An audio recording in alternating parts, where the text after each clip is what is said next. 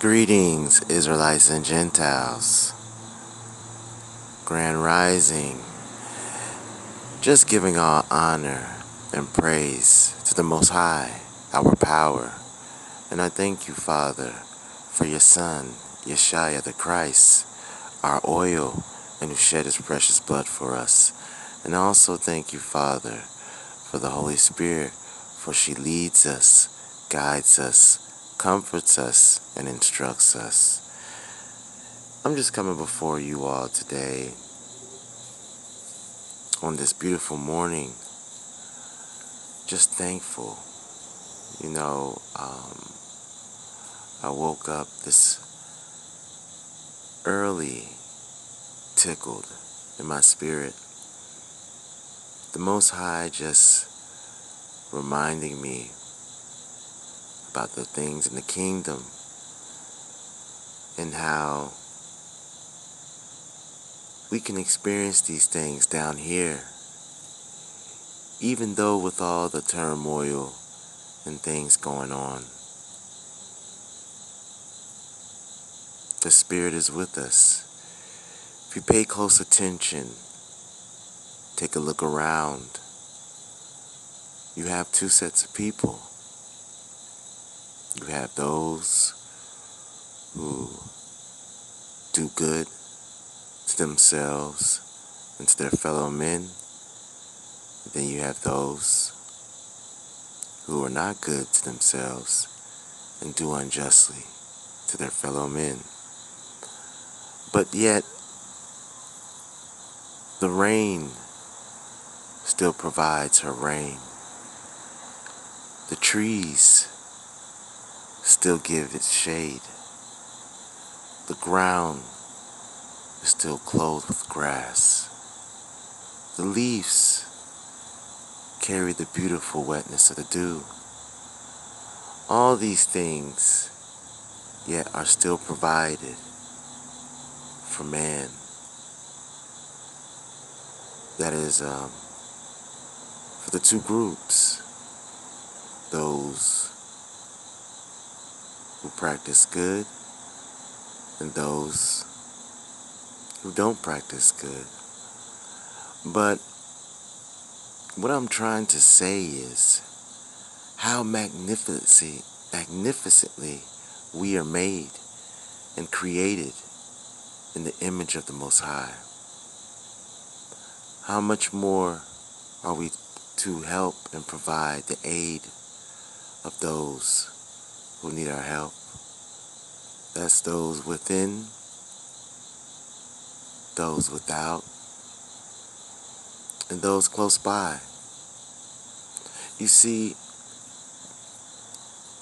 in this world, this temporal world that is, the word religion is always tossed around.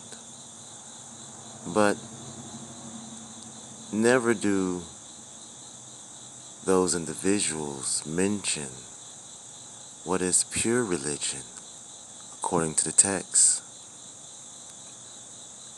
See, pure religion is visiting the widows.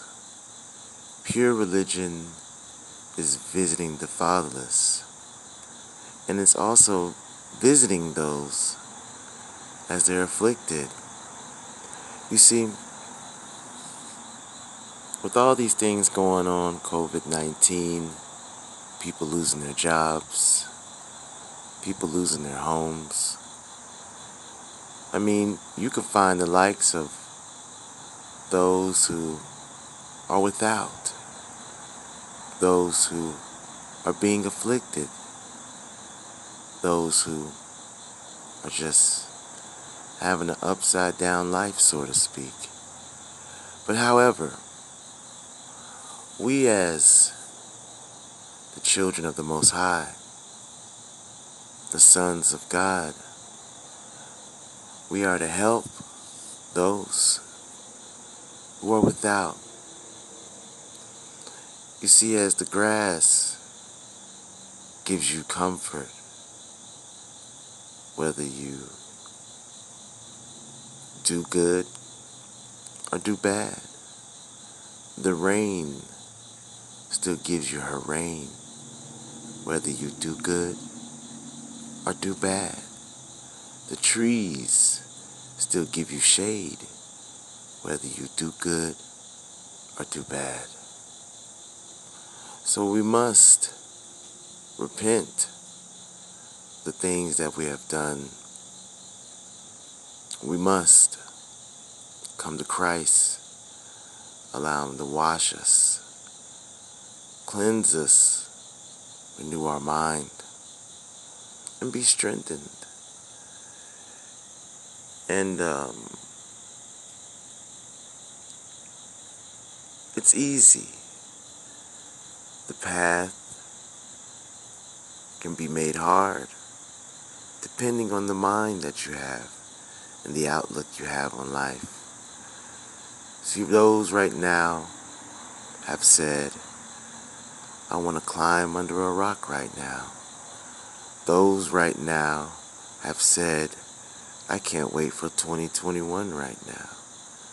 Those have said 2020 is the worst year.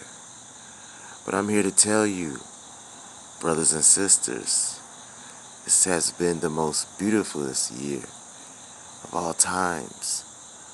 We are living in a time, if you're in Christ, a time of rising.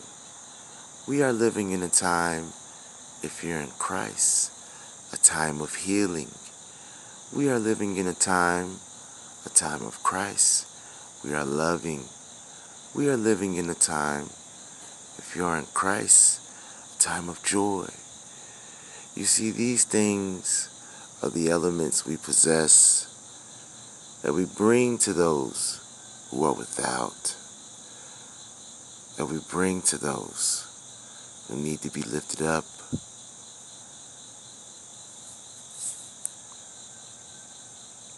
So as I woke up tickled and just filled with joy, I'm thankful for the kingdom of God. I'm thankful for His word and His truth.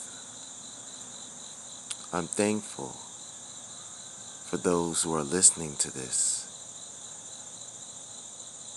And I salute you to those who are helping their neighbors. I salute you to those who are forgiving. I salute you to those who have self-control.